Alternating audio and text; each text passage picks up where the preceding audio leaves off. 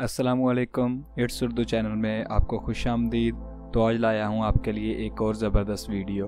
तो आज की वीडियो है अंगोरा खरगोश के बारे में यानी कि अंगोरा रैबिट। अंगोरा खरगोश भारी फर वाला एक गोल मटोल पालतू खरगोश है जिसे ऊन की पैदावार के लिए पाला जाता है।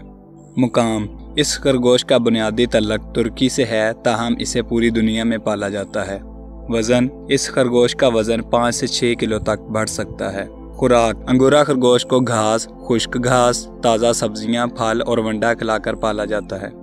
ऊन की पैदावार। अंगूरा, खरगोश की ऊन, जिसे अंगूरा वूल कहा जाता है, इंतहाई नफीस और महँगी होती है। 50 ग्राम अंगूरा ऊन की कीमत 10 से 16 अमेरिकी डॉलर तक होती है। जर्मन ब्रीड का एक अंगूरा, खरगोश 1200 ग्राम ऊन सालाना पैदा कर सकता है। अंगूरे की ऊन, नहायत नफीस और उमदा क्वालिटी की होती है। आला फैशनेबल ब्रांडेड मलबूसात में ही इसका इस्तेमाल ज़्यादातर होता है। अंगूरे की ऊन उतारने के लिए कैंची का इस्तेमाल किया जाता है। महज पाँच से दस अंगूरे भी घर पे पालना अच्छा खासा मुनाफा बख्श कारोबार हो सकता है।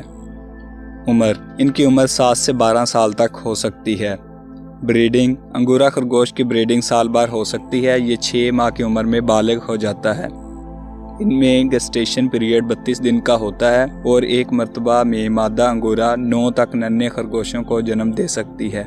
गोश्त। अंगूरा खरगोश का गोश्त नरम, लजीज और इंतहाई सेहत बख्श होता है। हुकूमत पाकिस्तान और अंगूरा फ़ार्मिंग। अगर आप पाकिस्तान में अंगूरा खरगोश की फ़ार्मिंग करना चाहते हैं तो हुकूमत की ये गाइडलाइंस पढ़ लें जो कि डिस्क्रिप्शन में दी गई हैं।